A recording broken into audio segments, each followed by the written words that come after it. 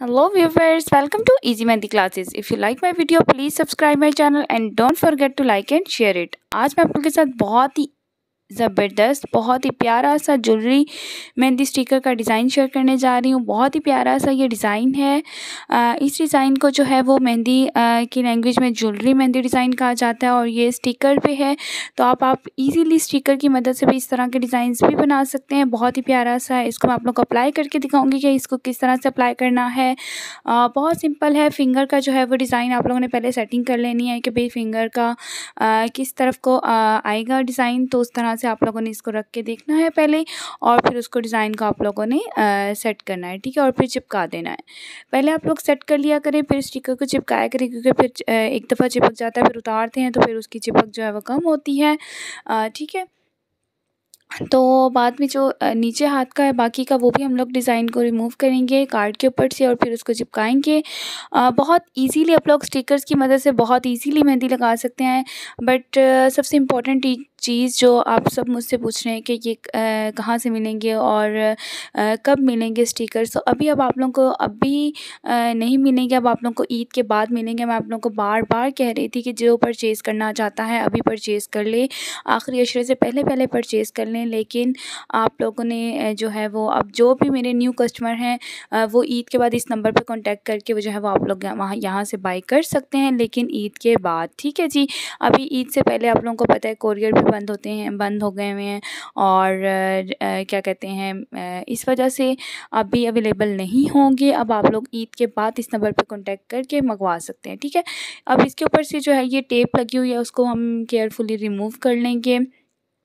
ठीक है, टेप इसलिए लगाई जाती है ताकि स्टिकर जो है वो पूरा वहाँ से उतरे कार्ड के ऊपर से, वरना क्योंकि इस तरह का डिज़ाइन है, बारीक सा दरमियान में लाइंस हैं डॉट, डॉटेड डिज़ाइन है तो वो फिर ख़राब हो सकता है। ठीक है जी, आप देख सकते हैं इसकी भी पत्तियाँ पत्तियाँ अलग अलग से हैं तो आप लोगों ने बहुत केयरफुली इसको रिमूव करना है और केयरफुली इसको अप्लाई करना है। ठीक है, अभी इसके ऊपर हम लोग मेहंदी अप्लाई कर लेंगे। मेहंदी आप लोग कोई सी भी ले सकते हो, मैं हमेशा आप लोगों को कहती हूँ कि आप लोग कोई भी कौन मेहंदी ले सकते हैं ठीक है? एमरजेंसी कौन मेहंदी भी, नेचुरल हीना भी ठीक है? जब मेहंदी ड्राई हो जाती है, देन इसको हम लोग रिमूव कर देते हैं। आप लोग चाहे तो उसी वक्त भी वॉश कर सकते हैं। आप लोग चाहें तो बाद में देर बाद भी वॉश कर सकते हैं, ओवरनाइट भी छोड़ सकते हैं, लेकिन स्टिकर आप लोग रिमूव कर लें जब मेहंदी ड्राई हो जाए, स्टिकर रिमूव करके आप लोग ओवरनाइट भी छोड़ सकते हैं, ठीक है? अब मैंने मेहंदी रैंडमली इस पर लगा लिया है अब ब्रश की मदद से इसको फैला लेंगे। आ, बहुत आसान तरीका है मेहंदी लगाने का जो मेरी बहनें मेहंदी नहीं लगा सकती जिनको लगानी नहीं आती उनके लिए बहुत ज़बरदस्त चीज़ है। ठीक है? बहुत से लोग बाई कर चुके हैं इसलिए मैंने कहा आप लोग ये वाला डिज़ाइन भी बहुत सारे लोगों ने बाई किया लेकिन देखने में समझ नहीं आती कि इसको कैसे अप्लाई होगा ये क्या चीज़ है ये क्या बला है। तो इस वजह से फिर मैंने कहा चलो ये भी आप लोगों को अप्लाई करके दिखा देते हैं। ठीक?